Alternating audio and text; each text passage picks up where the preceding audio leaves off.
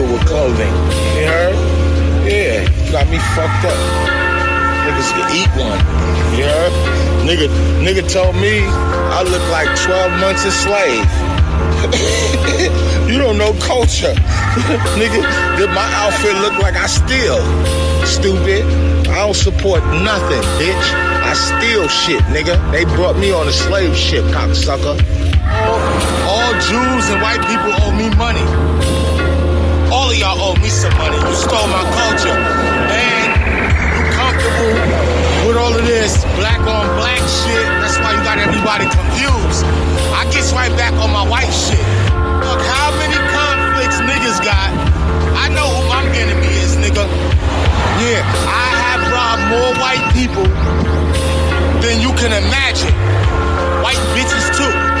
I will rob the shit out of a white bitch. Robbery. Nigga, listen to Big Album. That's the ethics of my community, bitch. You heard?